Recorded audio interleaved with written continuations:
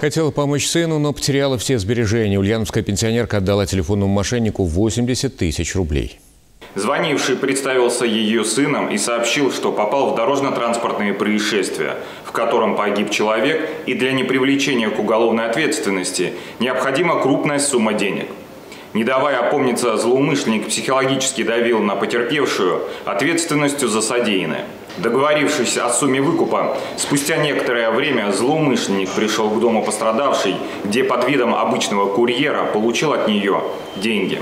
После обращения в полицию лже-родственника стали искать сотрудники управления уголовного розыска. По силовой э, поддержке бойцов СОБРа и ОМОНа подозреваемого в мошенничестве задержали в частном доме. Им оказался 35-летний житель Чердаклинского района. В доме провели обыск. Оперативники изъяли 380 тысяч рублей, а также 700 долларов.